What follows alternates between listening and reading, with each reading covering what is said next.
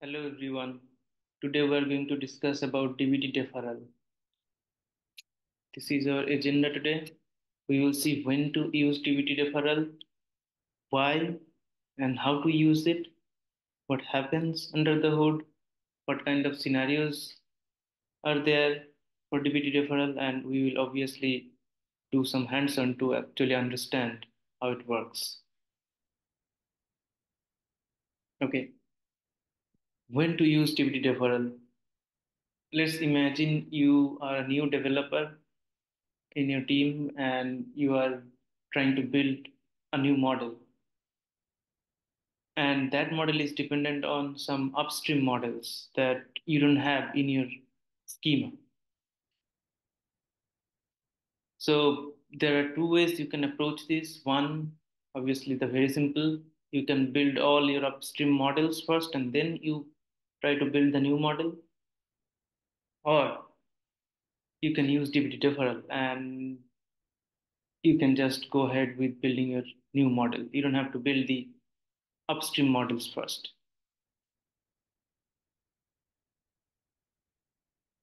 So in that case, DBT will use the upstream models from your production environment. Why?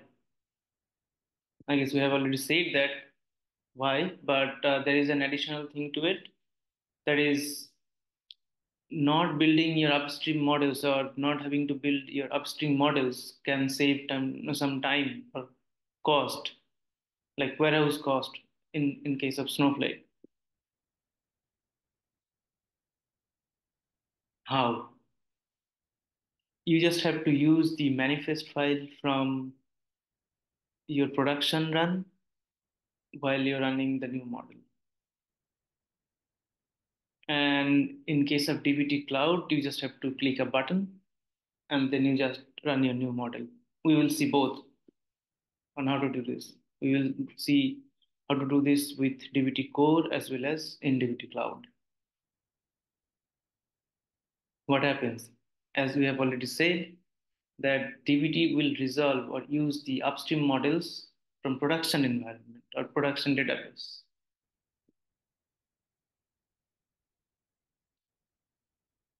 Scenarios.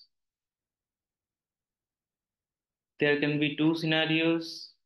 One, the upstream model is selected for the current run, as in when you're trying to build your new model, you're also selecting the upstream model as part of the run.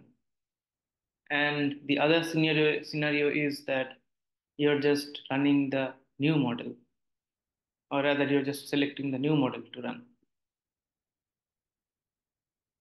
When you're selecting the upstream model as well, along with your new model, DBT will actually not use this model from the production environment. It will actually build the upstream model first in your current environment, which is your dev environment, and then it will build the new model that you have been working on. If the upstream model is not selected in that case, DBT will use it from production. That's the difference. Now, it can so happen that your current model is dependent on, say, three models. So one is present in your current schema or current environment, and the other two. From the other two, one is not present in your current schema, and the other is actually selected as part of your run command. So one is selected, one is present in your current environment, and one is not present. We will see that scenario while we do the lab. Okay, let's go there. All right, so this is the famous Jaffle Shop project, and we will see how to work with DBT deferral. So if you remember, if we have to use DBT deferral, we have to have the manifest from a previous production run. So what we will do first is we will build all our models in our production environment. So I'll just do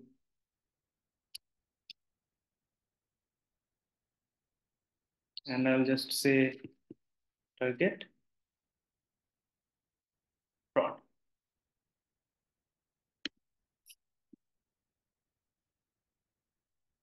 What this will do is it will build all the models in our production schema right here.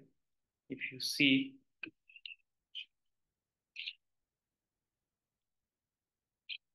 it's a production schema, and we will look at the tables. The models are actually already there, but for the sake of this training, we will again build it. And that serves two purposes. One is it will again build all the models into our production schema. And the second, it will give us the manifest file that we will need under the target directory. This. So we will just wait for it to finish and we'll come back once it's done.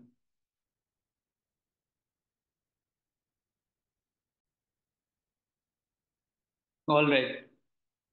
Our build in the production environment is done. And if we look at it, if you see, this is our prod schema where the models are built.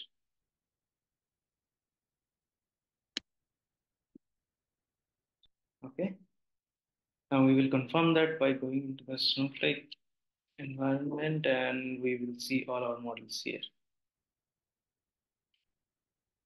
Next, the next thing is the most important thing, which is to keep a copy of this manifest file so that we can use it for our deferral runs.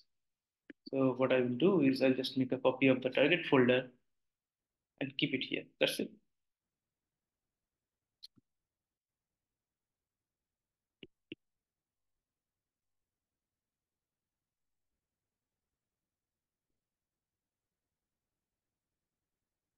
Right? So we have our manifest from the production run under the target prod folder. Now, let's look at the dev schema, which is our dev environment. We have selected or we have tried to select the dev schema, but it is not there. Now, we'll look at our customers model. So if you see the customers model is dependent on three upstream models, stage customers, orders, order items. So what we will do is we will just build one of these models in our development environment. Let's just say orders. So, and if you look at the orders model, it is also dependent on some other models. So to build in this, even in the first place, we will have to use deferral because we don't have any of the other models in our development environment. In fact, we don't have the development schema itself. So let's just do it.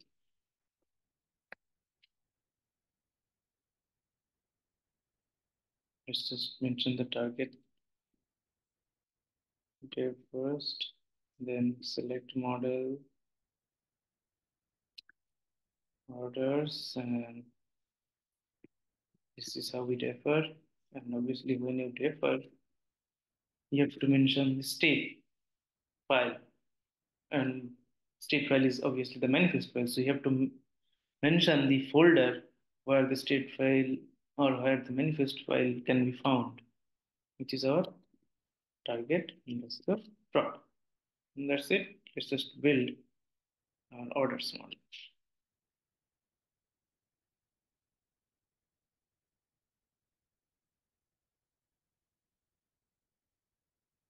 Uh, let's look at this first.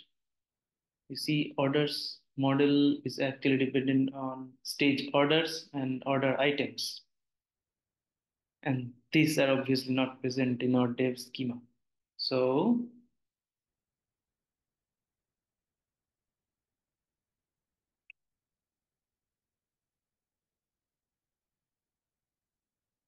Yep, it has been built.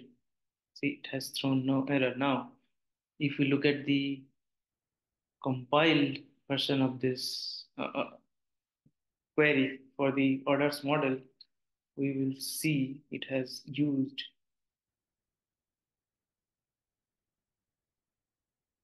the other models or upstream models from the production environment.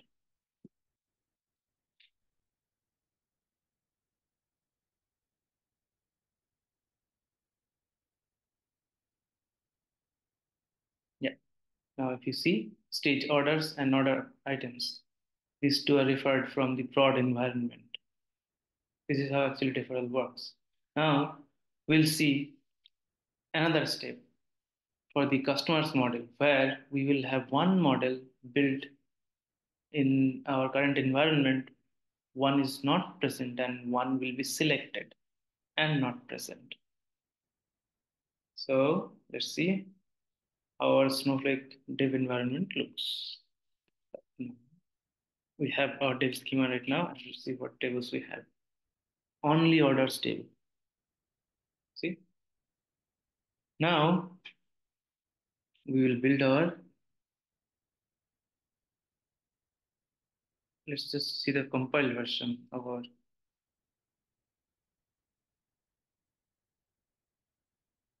customer state orders. Now uh, we know that orders table is present in our current environment. So we won't do anything with that. But we will select order items model. And we know that it is not present.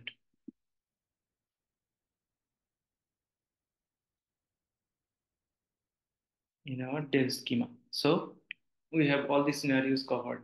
One of the models, one of the upstream models is not present in our current schema or current environment, which is order items but it is selected in our current. One of the upstream models is not present in our current environment, but it is also not selected, which is stage customers. So this one should be referred from prod.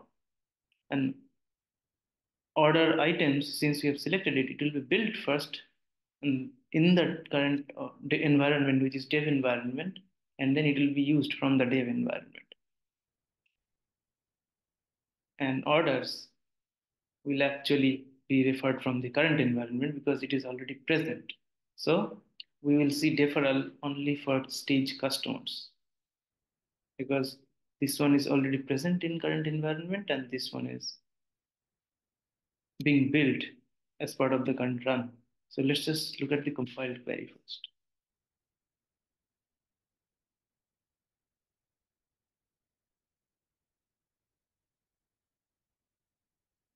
Okay, so if we see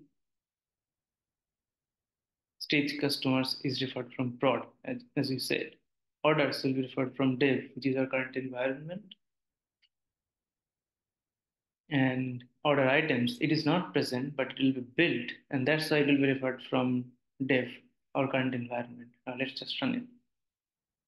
Before we run it, we will again confirm that the tables in our current schema except for orders.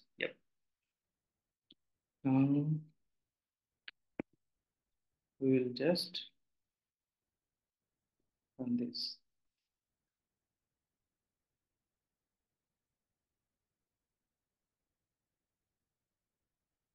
Now, as an output of this run, we will see three models built in our current environment, which is dev. You see? Yes. Orders, which was already present, order items and customers, these two are built right now as part of the last command. So this is how deferral works in DBT core environment or with DBT core. just remember that with DBT core you have to use the deferral flag, which is defer, and the state flag along with the folder where the manifest file resides in for the production or any other previous runs. Now we will look at the same thing in DBT Cloud perspective. We will see how it works here. Now, again, we will just look at the customers file or customers model, and this is not deferral. This is normal run. If you look at the compiled query,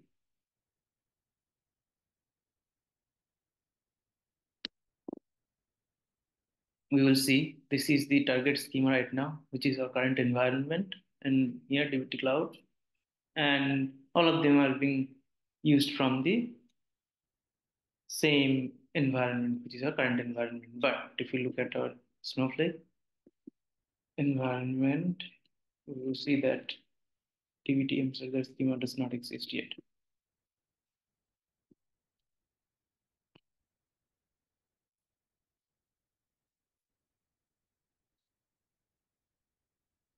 It does not exist. Now,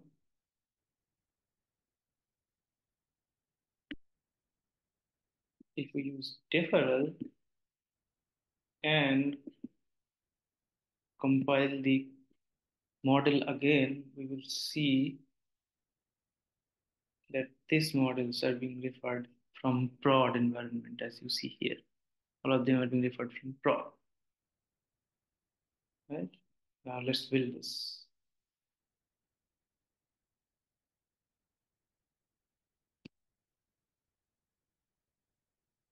So as part of this run, we will see just one model built in our target schema in the current environment, which is DBTM Sardar, and that build is successful. Now we should be able to select DBTM Sardar schema because it is present now, and we will just look at tables.